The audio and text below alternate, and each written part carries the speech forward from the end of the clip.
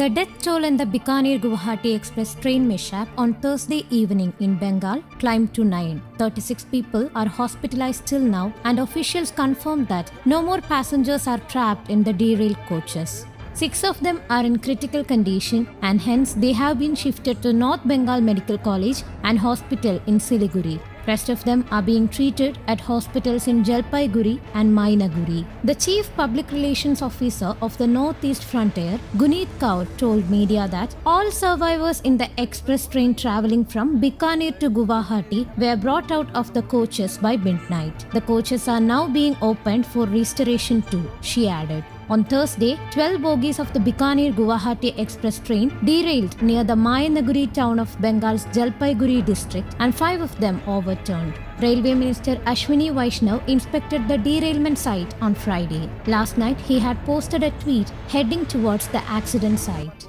The minister updated about the discussions held with Prime Minister Narendra Modi and also informed him about the rescue operations to be carried out. The process of removing the debris, inspecting the derailed parts, and also a deeper investigation will be conducted to find out the reason behind this mishap. We will fulfill all our duties, he added. Prime Minister Narendra Modi expressed his grief towards the affected families. A high level statutory inquiry has been initiated to probe what led to the derailment. The Union Railway Minister promised compensation for the families killed in the accident. They will receive rupees 5 lakh. People who were seriously injured will get rupees 1 lakh and rupees 25,000 will be allotted for minor injuries, the minister said on Thursday.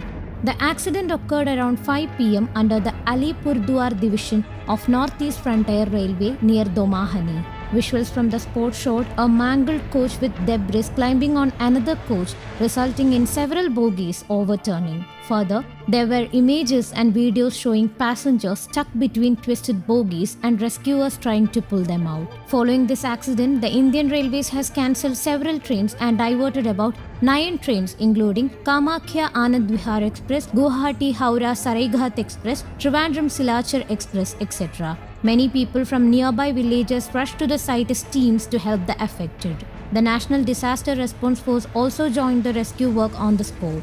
Union Minister John Barla reached the spot on Friday morning. Death toll in Bikaner Guwahati Express mishap has risen to 9. Rescue operation is over. 36 injured were admitted to different hospitals. Passengers were sent to Guwahati by special train, he said.